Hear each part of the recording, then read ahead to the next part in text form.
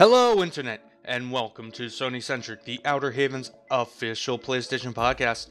I'm your host, Jason Kwasnicki. I'm joined on my virtual left by the loyal, Mark Sullivan. and to my virtual right, the lovely. Delaila Lugo. Hello, everybody. Aren't How you proud of doing me? I did it. I did it on time this time. and enthusiastically. And I know, I was- enthusiastically. I was waiting in great anticipation. My palms were sweaty, knees weak, mom Yeah. spaghetti, Whew. vomit on the sweater already. Throwback. Um, yeah, I'm spitting Right. some mad rhymes right now. Oof. This is the Outer Havens official PlayStation podcast. We talk about everything Sony, pretty centrically, hence Sony centric. That was is. really bad. That was That really bad. That was awful. That was dank. Uh, that's not. Never mind. Early. So, it's the beginning of the episode. It's time for that question, folks. What have you been playing? Oh, that question. Going first. Am I going first? you. You should go first. You never go first. Let's do it. Me? Yeah, you. Fine. I mean, uh, I've just been playing post game Final Fantasy 15. Rub it in. That game is yeah, exactly. I'll rub it in that. I'll rub it in that I got the fucking royal garments. That's not I gonna got- spoil anything, is it?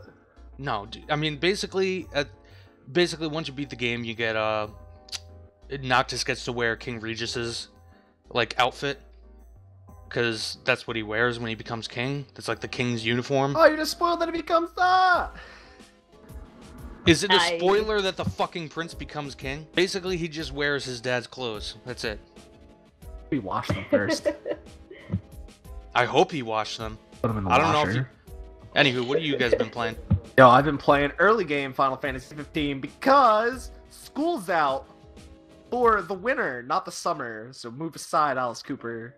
Um, but yeah, I've been playing Final Fantasy 15. And don't worry, I didn't actually spoil anything for you. Hope not. Delaila, Delaila, what about you? well, th- literally a few hours ago was my last final, so I've only gotten to play Overwatch as usual, and I I was almost master rank, and for some reason, the night I decided to play. Um, it was doing this weird thing where it was kicking you out of matches and it wouldn't let you rejoin. So, yep. Damn. Sad story. Sad story. Sounds like much fun. And no, folks, we're not going to be talking about the sexual escapades of our favorite Overwatch heroes. No, but good comic. Go read it. Yeah, I don't care whose dick that uh, Winston be sucking. Mason, he likes bananas, okay? Why do you think he likes bananas so much, Mark? Oh man, he also likes peanut. Oh god, he likes peanut butter. yeah, yeah, exactly. Moving on to our first topic, we got some news. Eh, There haven't been a huge amount of news stories going on, but those that did, man, it's bombs, dropping bombs. Former Konami president, you know, I'm gonna let Mark take this one because he knows more about it than me. Mark, spin What's that up? shit. Spin that shit. All right. So Shinji Hirano, the former president of Konami Europe, he is now apparently president. Kojima Productions, not the old Kojima Productions, but the current Kojima Productions. Because there used to be Kojima Productions at Konami, and now there's the Kojima Productions that's independent. And apparently, he's the president as oh, oh, as according to his uh his LinkedIn profile.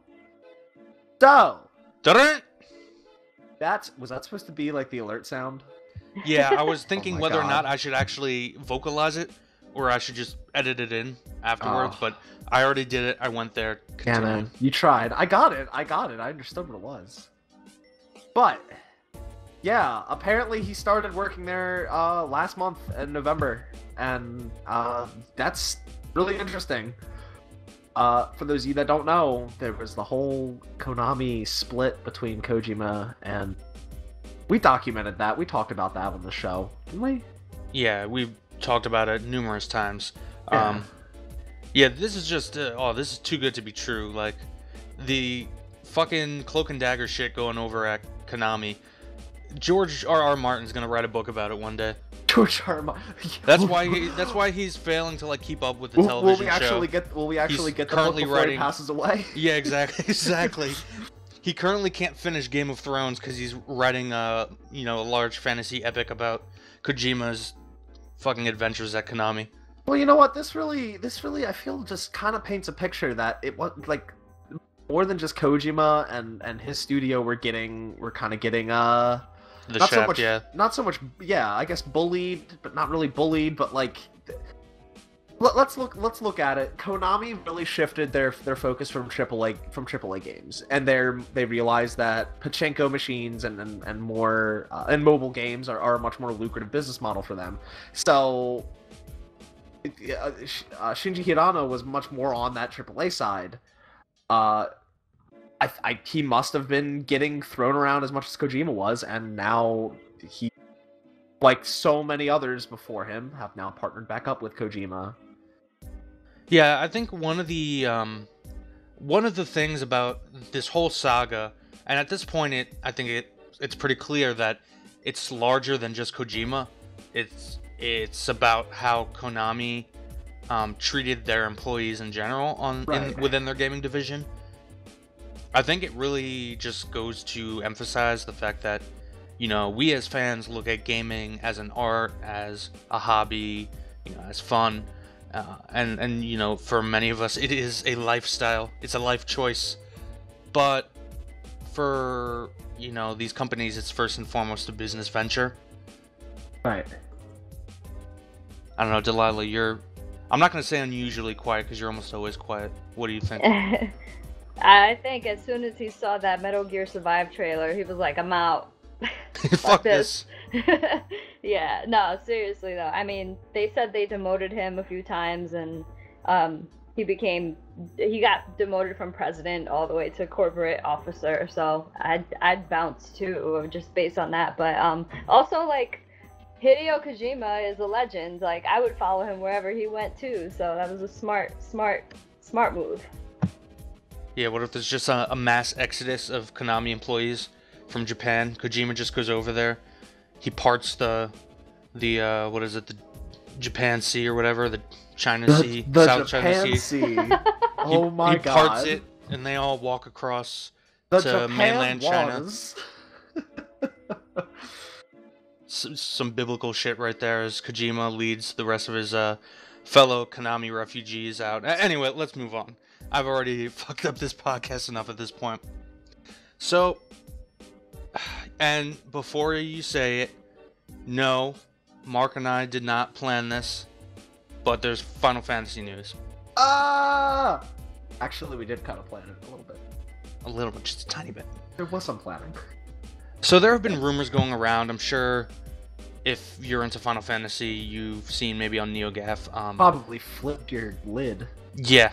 Um, Probably opened up one of the magic flasks and No, man. lit everything on fire with excitement. No, it's uh, What? U- it's You're- Unicast. Whatever, man. Try Unicast. Whatever, you gotta man. you gotta put all of, all of your magic points in from all three. So you get Try Unicast, Max Potency, and then you throw in a Magic Tech Enhancer. You get a Curse Cast. Or anyway, One of them, use one of them catalysts. anyway, it's Final Fantasy's 30th anniversary this year. oh my! and well, there have year. been rumors circulating that Square had something pretty big up their sleeve. Oh namely, uh, in addition to the remaster of Final Fantasy XII, the Zodiac that's being called the Zodiac Age that we already know about. Um, it doesn't yet have a release date, but it's supposed to be coming uh, this upcoming year. Spring. I think Yeah, they uh, spring. initially said, Yeah, which means like June or July. yeah. Um, in addition to that, this these rumors that have been circulating have said that Square is supposed to be releasing a collection of all of the mainline single player Final Fantasies up through 13, including and for you know eight, seven, eight, and nine, like the remastered editions that recently came out. Um, with like Well- you know all the cheat buttons and shit. This is where it gets like crazy, okay? Because yeah, th- this was supposed to be a compilation. So th- all right, let's keep in mind, yes, this is a rumor. We don't know. We have no confirmation of this, But the compilation is gonna have uh, reportedly one through nine uh, for PS4 and PS Vita on a single disc slash card. Now, first of all, that would be fucking crazy on Vita. Yes, Yeah. that would be great. Just to be able to walk around and with that one thing in, like, Have, have it all. nine games. yeah. Yep. You'll never see me again. um, I think a especially lo- I think a lot of people would buy Vita. uh, trophy support. Oh my god. Um, but th- the uh, the the idea apparently this is gonna ha- have ver- uh, multiple versions of uh ones of Final Fantasies one through six. Um, so that that'll be it'll it'll be able you'll apparently be able to switch between the original versions and the modern ports. Uh, and th- that it also includes that two and three will apparently be localized. That's where it loses me a bit. I don't know if I That's so cool that. for for yeah from a from a fan standpoint. That's so fucking cool. But I don't know that they'd really put in that work for for games that old. That's the thing. Well, I think I think Square you, Square has regained a lot of um, goodwill with me in the past few years. They have. Um, I would. yeah, I think I think they know they gotta step it up. But they also they also ah, they've they have fucked up ports in the past, especially in my opinion. The mo- Those you're mobile talking about the mobile ports, though. Those mobile ports look terrible.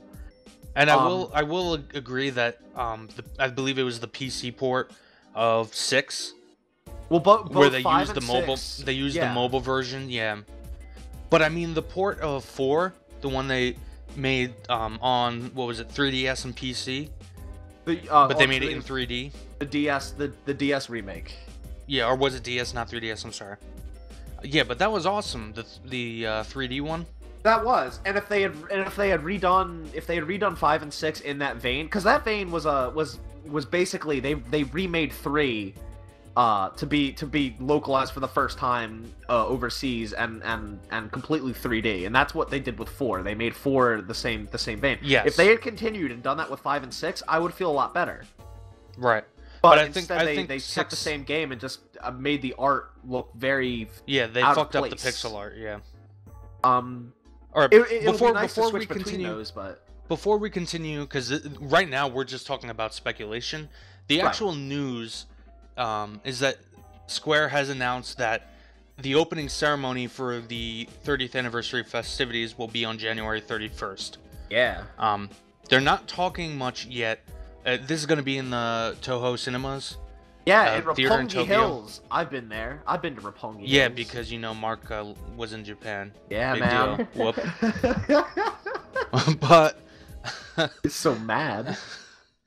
They've they've yet to actually announce um, any kind of lineup or you know more detailed plans into what their No, yeah. software releases are going to look have- like. We have absolutely no clue what what this is gonna entail. But um, um, the series executive producer Shinji Hashimoto said the company will announce them soon in an interview with Famitsu. I So think that's that's what we know for sure right now. I think a safe bet. Um, and uh, by the way, th- that that whole collection thing gets even more out of whack when you get into the collector's editions for it. Um, Yeah. Which I, I don't even want to read off because there's so much in them in the rumor, and I also don't believe them at all. And then there's the entire question of, you know, we've heard about the remake of Seven being episodic. Could we see an episode one come out this year? Multi-part- Huh. So Could, actually, we, could we see just like a Midgar episode come out this year? so Is actually, it too soon? I, I think I it's do. too soon, but I, I personally think that they are going to drop that, and I think they're going to drop it by the end of the year. The first, the first part of this multi-part, multi-part, not episodic, multi-part. Uh, Right. Episode, uh, Final Fantasy VII. Uh, I think keep, that will keep in mind those games were divided by discs anyway. right? And right. and even though th- even though um they were divided by discs, that was really just a memory thing.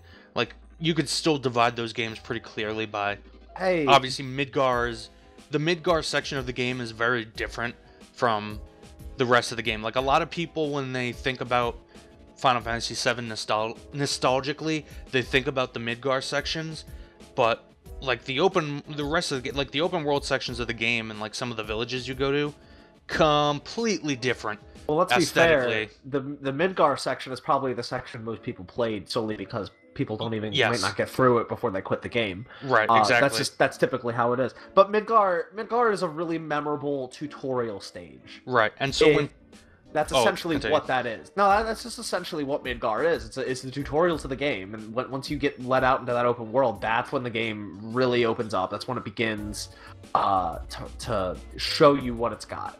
Right. And it's just funny as a side note because when you actually get into that open world, tonally, Final Fantasy VII is like every Final Fantasy all over the place. Like there are like like village villages. There's high tech places. There are places like you know, um, crap. What is the? I'm forgetting the name of the casino. Gold Saucer. Yeah, Gold Saucer. There are places like that that are more modern looking. There are places that are more ancient looking.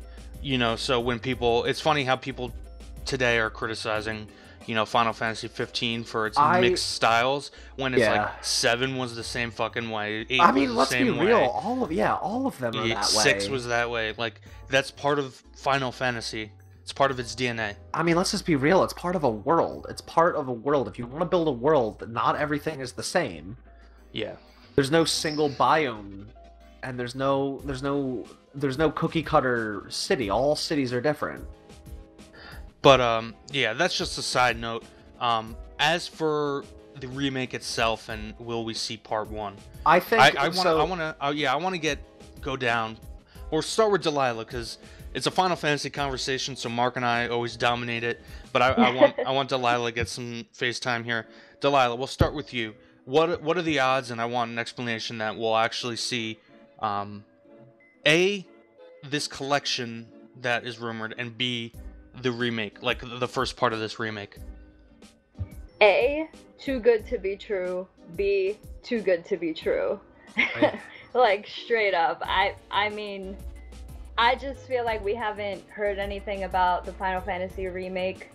It would be an appropriate time considering it's the 30th anniversary, but I feel like they're definitely gonna push that towards like Sony related things.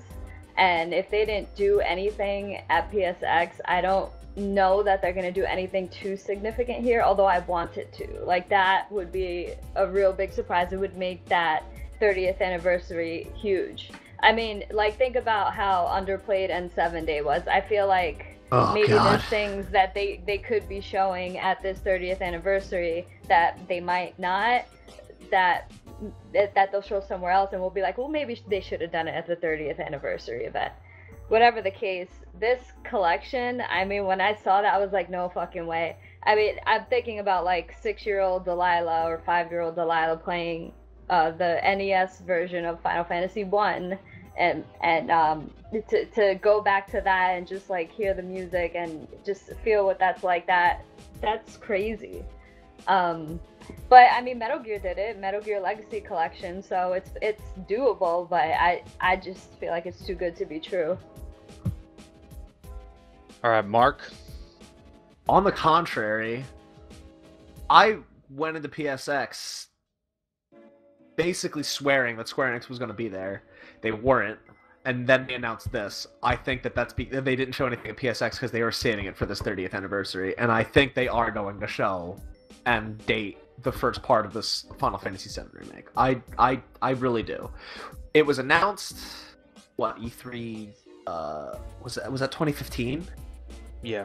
We've and we last thing we saw of it was last PSX, PSX 2015. Like we haven't seen Yeah. it in over a year now. Um, I think they're gonna uh, if they want to make it multi-part, they have to crank it out. And that that team, uh, they've been they've been outsourcing to uh, other developers for it. They've been taking in feedback from other Square Enix developers. Uh, I think they've been hard at work, and I I, I, I do think that something's gonna happen with that. What Um, about the collection? the collection i hope so and i don't like i said i start to i start to lose it with some of the more detailed parts of it like the like the like two and three from nes getting getting official translations it really loses me there it really loses me with these absolutely ridiculous collector's editions um but like this collection I don't. We don't really know this because it didn't come out in North America. But for the 20th anniversary, uh, Final Fantasy, they did put out a big box set in Japan, Right. that had uh, I think every Final Fantasy up to 2007, so it would have had one through 12. I'm Yeah. fairly certain it had that. This is this is uh, and and, and uh, let's keep in mind that was a one one through 12 on their initial on their original platform. So or uh, on on PlayStation platform. So even three was a UMD for PSP. Yeah, at that at that point, because at that point uh, it was still PS2, right? Right, we were still And well, we PS2 were in was the PS3 PS1. generation, but there was no Final Fantasy game on PS3 at the time. Right, and Right. PS and at that point in time, I believe both the PS3 and PS2 were backwards. Well, I mean, the the PS2 was definitely backwards compatible, but Right. because I mean, the the- PS3 the at the first time game- was. yeah, the first game I bought for the PS2 was Final Fantasy IX. Um, Right. but PS3 originally was as well. Yeah, so at that time, yeah, it, it was uh the the only game you wouldn't have been able to play on a PS3 at that time was was Final Fantasy 3 because it came with a UMD. But all the 1, 2 and uh 4, 5 and 6 were all on PS1 or uh oh, and 7, 8 and 9 were all on PS1 discs. Uh 10 and 12, I don't remember if 11 was in there, were on PS2 disc. Like it had all of those boxed in a really nice box. Uh, and it went for an absurd. It still goes for an absurd price uh, on eBay, but it that they did do that for the 20th anniversary. A collection I would not be surprised if they did for the 30th anniversary. A collection that has a season pass, which is rumored. Uh, no, I I that that's ridiculous. Mm-hmm. And all the physical. If you get a chance, look at this leak. I don't want to read everything because it's a lot, Yeah, it's but a it lot. is absolutely absurd the things that this leak says are going to be included in this crazy ass collector's edition. Yeah, I'm with you. Where um, I think there's a lot of hyperbole in the leak. I would not be surprised though if we see um a at least uh 4 6 7 through 9 12 13 like will we see ports of 2 and 3 the original 2 and 3 maybe. Um if they were i would expect them to be pretty half-assed. Basically yeah, I, I I- basically I- I, just feel like we're gonna get the games that we've already seen before here in the states. Um, the ones that have been remastered will be remastered or redone or they'll have um, they'll have the option for it you know but you know that that's believable. Like i, I actually really do think that we'll see some sort of package like that because they've kind of been building up to it the way they've been incrementally releasing all these different remasters and re-releases on steam on uh, you know ps4 and so on and so forth. As for the first installment of the 7 remake i'm it's iffy because like you said they've been outsourcing it to uh shit what is I, the I yeah, forget the what is- name. yeah, I forget yeah the name of it's the studio. it's like literally a no-name company that does like optimization well, there's also um, th- there's also one studio in there that is well known. I just can't remember which studio it is. Yeah, it's it, it, it yeah. It, there's one studio they named it. They like talked about it pretty openly at E3. Like, oh no, Square isn't doing this right now. We literally have everybody working on 15 to get this shit out. Right, Um, and I also I like I I do think this is coming. Uh, I don't know that they're gonna pri with with this being Final Fantasy uh Final Fantasy's 30th anniversary. I don't know that they're gonna prioritize Kingdom Hearts 3 at that for that for all no, next definitely year, not. which Yeah. is kind of a For- fuck- it's kind of a shame. fucking forget about Kingdom Hearts 3, dude. Like, I believe the question of whether or not we see that remake uh, this in, in this year by the end of this year, um, it's entirely dependent upon how much work was that outsourced company able to get done between, you know, because we know like, virtually no work had been done on the game back when it was first shown or when it was first teased at in 2015 at that legendary E3 conference. Um, that was like a whole big thing. Was that like, oh, I, what's name? Nomura didn't even know the game was being made. Like, remember that? Like, people who were supposedly working on it didn't know the game was being made. So we know at that point there was no work been done on that game. I'm like fumbling for words. Sorry. So the question the question becomes how much work did this company that doesn't really have a hard track record um, at least in the AAA space. How much work were they able to get done between that E3 conference and now? Now that Final Fantasy 15 is out there in the wild, because at this point we know that Square can start shifting resources over to help them if it is indeed their plan to get 7 out or at least the first part by the end of this year, you know, it's gonna largely depend on how much work has already been done. So I'm like 50 50 on that game coming out, being part of this. I don't know. Yeah. I, I think if they're gonna if they're gonna pull this if they're gonna pull this multi-part thing, that they have they they do have to do it in in a reasonable in reasonable time intervals. And I think waiting any longer than after 2017 is when they when you announce it in 2015 kind of defeats the purpose. Yeah. Defeats the purpose of i mean that that pro that project don't get me wrong i wrote an article on this a while back that project is going to be is wildly ambitious it's going to be huge but they do need to really double down and, and get them out there if they're going to try and pull this off Right. So, exciting time for JRPG fans. I mean, not just Final Fantasy. We got Persona 5 coming out soon. Uh, Trails of Cold Steel 3, I believe that's the one, was just announced as a PS4 exclusive. what? Got a lot Uh, of whatever. JRPG. Yeah, I, I would, like I was saying, you know, before this recording to Mark, um, if only I had the money to buy a, a fucking Vita, I'd be playing all those Trails games. There's so many good JRPGs that are only on the Vita, and so many older JRPGs that you can only really play now on the Vita if you don't have your old PS1. So, yeah, good time for JRPG fans, exciting time for Final Fantasy fans. Lots of good news. But we must move on to our Yeah. final topic. speaking this of multi-part games episodic games Yeah, speaking of episodic games, Telltale Games today comes out the on the uh, day of this recording Yeah, on the day of this recording, uh, Telltale's Walking Dead uh, net what is it, Next Frontier? a new The frontier New Frontier, sorry. The Next Frontier. Boldly going Break it- where no man has gone before. break out your theremin But um, yeah, the new Telltale series for uh, well, not series, the new I guess chapter in the Walking Dead series comes out today, which for me begged a question because the last Telltale game I played, I believe it was episode two or three of.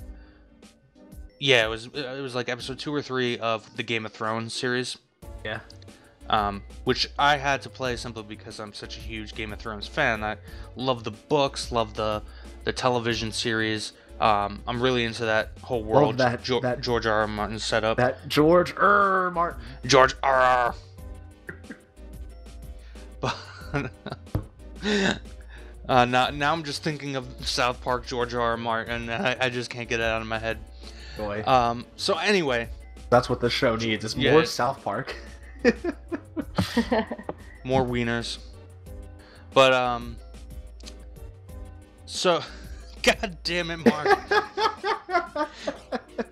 Telltale. So I was thinking about Telltale because the last memory I have of Telltale games is kind of rage quitting n- not rage quitting, just like quitting indifferently that series simply because I guess my main point of frustration with those games is they don't really feel like games to me.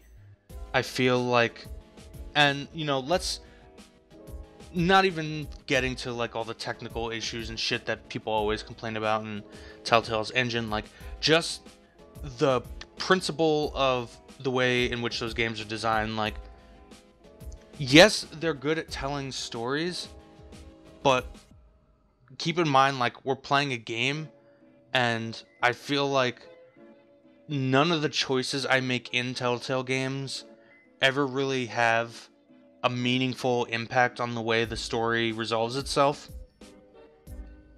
And hmm. I mean, they they do have they do have like an impact on maybe a character approaches a certain conversation a different way, or maybe one character like you, I don't know, one character might not even be there. They might be like like in the Batman series, like you know, Penguin can like fuck up uh, what's his name, uh, Harvey Dent or whatever. Like you know, different shit like that. I, I don't know. I'm trying not to like spoil shit for people Yeah, who yeah, like these games and haven't played them, but like y- the way uh, any given conflict in a Telltale plot resolves itself is almost never different based on the choices you make, and that's so like contrary to what for me the idea of a game is like look at a game uh, i'm always going to point to infamous 2 i just fucking love the ending of infamous 2 and that game's way behind us now so i feel like we can spoil it but that game ends so fucking drastically differently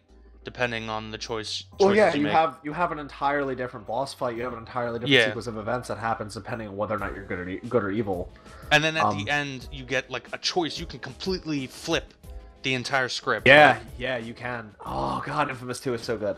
Um, it's so. So that that's my main gripe. I mean, leave aside like the technical issues I could overlook. It's Right. the like the whole design philosophy. And I don't know if it's maybe it's just me that I feel like the whole Telltale shtick is a little outdated and, or needs to be adjusted or needs to be revamped. I don't know. You guys, uh, let's start with uh, Delaila because again, Delaila doesn't talk as much as us, and I feel like she, I feel like she actually might play more Telltale games than either of us. So Yeah, I, I haven't touched a Telltale game since Walking Dead season two, but I do I I do want to talk about that a little bit. So go ahead, Delaila. Yeah, um, you know, t- first of all, the games aren't like detailed enough to have technical issues, so that that's a problem. That just needs to not happen. Like you're not doing anything outstanding for you to like for te- like Final Fantasy technical issues. It makes sense. It's like a big game, open world. That that makes sense. Technical issues aside, um, storytelling like i do think that choices do have an impact although i'm not sh- i've never played a telltale game over to see how much of an impact nor am i the type to like go on youtube and just be like okay what happens if i do this? Just because i don't know i'd rather just move on. Um but it is fun to hear like how other what other what choices other people made. Like if we like let's say we all played batman and we all talked about our choices in batman and kind of seeing like how different scenarios played out for us based on our choices that would be pretty cool however um yes it is not a game and when you see games like the witcher 3 that you your your conversations and your your dialogue choices have an impact on the ending overall like a huge impact on the ending like three or four different endings um, that's the game that I want to play for story and for gameplay and for the world and the universe. And uh, that's my idea of a game. However, Telltale Games is for me a good break after playing a really huge open world game. Like, I just kind of want to sit down, I don't want to think, I want to have a controller in my hand, not even like pay, like you don't even like put much thought into it. You're just kind of like pressing a button to make a choice and um, clicking, pointing and clicking around, and it's just so relaxing and simple that I feel like I like the Telltale games just to kind of wind down from a really hefty game, like The Witcher 3, for example. Yeah. Mark, So, Telltale games are essentially the modern evolution of point and click adventure games. Uh, they and and that's like that's where that genre kind of pushed, and now it's like very very narrative driven thanks to them. Uh, they are super hit and miss with the choices. I feel like no matter what choices you make in the first season of The Walking Dead, it kind of comes down to the same outcome. that's what I'm saying.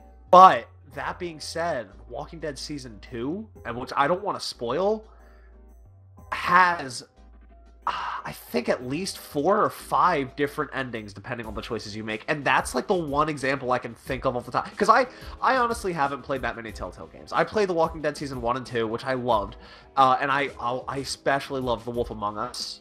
I played that. Uh, But, I as mean, the episodes of- were coming out, but that outcome was the same pretty much no matter what uh like certain things were different but it was the it was pretty much the same ending regardless of what you did walking dead season 2 really ended with something to talk about for you to talk for for the three of us or you and whoever the hell else played it to really discuss like what choices did you make what ending did you get because there were so many different outcomes and i i now with the new Frontier out, I kind of want to see how those choices affect how that game starts because it's it's just radically different. And that, See, that uh, that's I'm like curious- literally the one example I can think of Telltale having having choices severely alter how it's gonna how the game ends. I'm curious because um, season two of Walking Dead, I actually never, I didn't play season two, Okay. so I, I and I have heard this a similar thing before. Yeah. But tell me, is like at at all these different endings of for season two of The Walking Dead, the key characters were they in the same situation? Like, could you lose really crucial to the plot characters? Uh, at, at the in the ending, Yeah. yes. Okay. It's it's the ending to the, the the end the ending to season two had multiple factors that would decide which ending you got, and there were there were multiple. It wasn't like like I'm gonna go ahead and spoil season one just because season one is, is 2012. If you haven't Yeah. played it yet, I I do still suggest you go do it because the ending is one thing, but it's the journey that really counts. Uh, the ending to season one is is you decide if is, Lee turns into a zombie no matter what, but you or he's bitten no matter what. It, it you have to decide whether or not to kill him or leave him be, and that's emotional in its own right. But it's the same thing essentially. You either kill him or you let him become a zombie, and he's basically dead. Yeah. Either way, Um, that's that's my point. Is that the conflict, or not necessarily conflict. It's the wrong word in this case. It, it it's it's the same the status resolution, quo. the the yeah. ending, yeah, it, it it it is it. But season two really really flipped that around and, and gave you if gave you multiple factors that would affect whether you go here with this person or go to another place with this person or it really it, it just really changed that's like the one example where i really feel it was it was different Right, and I mean that's that's cool. I'm glad. All right, so that gives me hope, and I mean maybe at some point I will go back to to Telltale games. I just haven't, you know, in, in a while. Um, it's just that I think about games, you know, like I was we were just talking about Infamous, like Delaila said, Witcher. Leading from just to jump back to uh, Walking Dead, se- jumping from season one to season two doesn't really uh, affect much, but the ending of season two really makes me wonder how season how the new a new frontier opens up, uh, which I I will likely be picking up relatively soon because. Uh, I, I do really like really enjoy those games and it's been a long time since I played a Telltale game. Yeah, I didn't play. I remember very uh, vivid or vividly is the wrong word because that means you remember it clearly. Right. Um, I remember it very uh, foggily. no, I think vivid- vividly would be correct. Oh, vividly. God damn it! I remember it very vividly playing the first season. I but like I just said, I never played season two, so I might dive into um, to New Frontier. I kind of I kind of want to check out um, the rest of the Batman one though.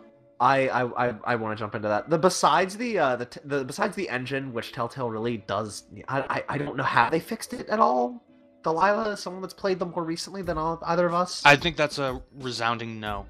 Okay, Like No. yeah, like literally everybody that, that's who such a shame. talks about these games says that, and that's kind of infuriating at this point. well, what? Yeah, when it's I was almost playing like they're just through- shitting on us. when I was playing through The Wolf Among Us on my I mean my PS3 is it, it's kind of it's kind of old. It's it's this it's the slim, but I got it in 2010.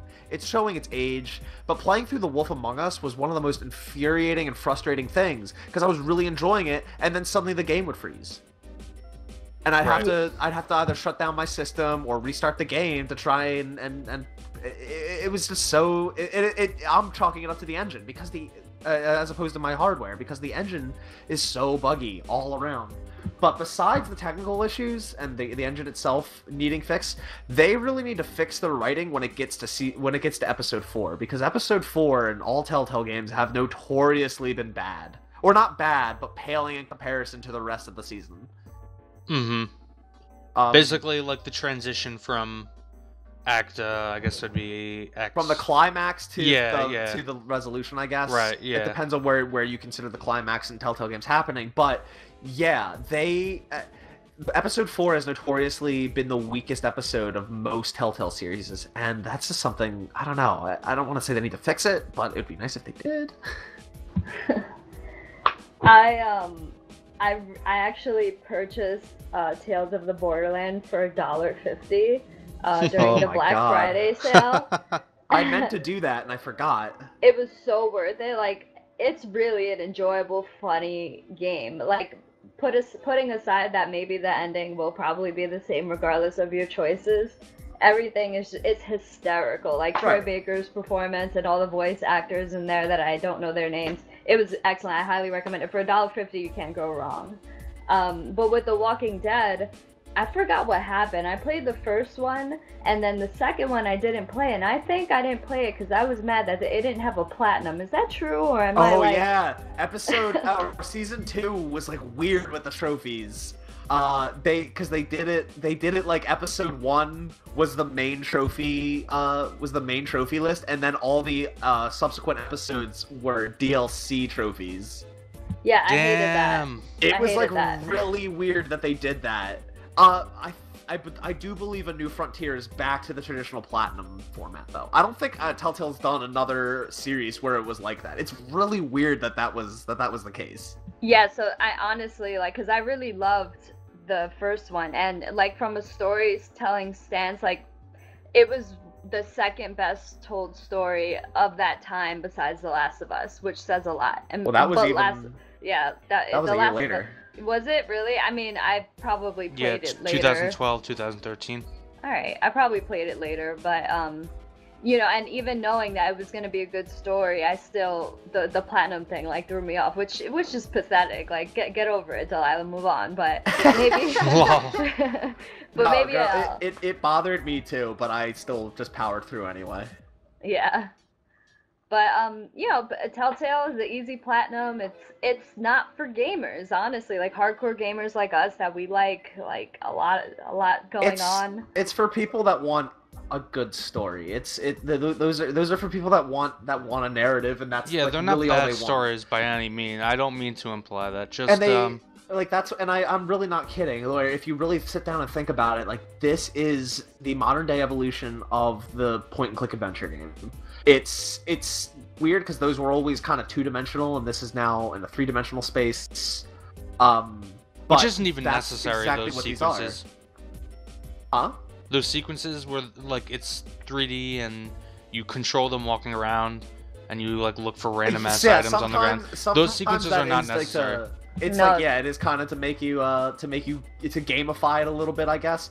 And those are probably I would say the weakest parts. I mean, it depends on the part of the game. Like there were some parts of season one, uh, especially when you're on the farm in season one, where I actually really enjoyed the ability to walk around and, and talk to certain people and, and kind of explore on, on my own. Uh, there's I think there's a part I'm not sure if it's season one or season two. You're in like this yard and you have to look around for supplies, and it was kind of just like why? Mm-hmm. Yeah, Um, but season that's, like. That's like to give you like I guess it's supposed to give you an option to to you know, talk to who you want, make uh, find out what information you want to know uh, as far as the lore goes or as far as decision ma- decision making goes. Um, but sometimes, yeah, I, I don't know. Sometimes those parts are a little unnecessary. There are some that are well done though. I will I will absolutely give it that. hmm Well done. Like another well done episode of Sony Centric. Oh shit! That was a good pun. That was. I started that was off a good with a re- transition. I started off with a really shitty one. I ended strong. Folks, this has been Sony Centric, the Outer Havens official PlayStation podcast. What do you think? Do you think Telltale is uh, getting a little stale, or do you think they're on top of their game? Obviously, they must be doing something right because they got a shit ton of new properties coming out left and right. Let us know below in the comments. We like to hear from our fans. We also like to know where we should go next. What do you want to see? If you like this video, please hit that like button and subscribe if you want to see more from the Outer Haven Productions. Also, feel free to go over to www.theouterhaven.net, check out all our written content, our reviews, see what else we do in the World Wide Web. I was going to say the world of the World Wide Web, but that, that would be redundant. it would be redundant. Folks, as always, I'm Jason Kwasnicki. You've been joined, or I've been joined, I'm sorry. We've all been joined by Mark Sullivan and Delaila Lugo at Assassina-san. Yeah, Peace you out, never, internet. You never plug my Twitter handle at Nibelheimian later. I don't plug mine either, Oh, because we have lame ass Twitter handles, dude. at that's SolidKwas, Jason. Peace I out, like internet. 'em. Later. Peace.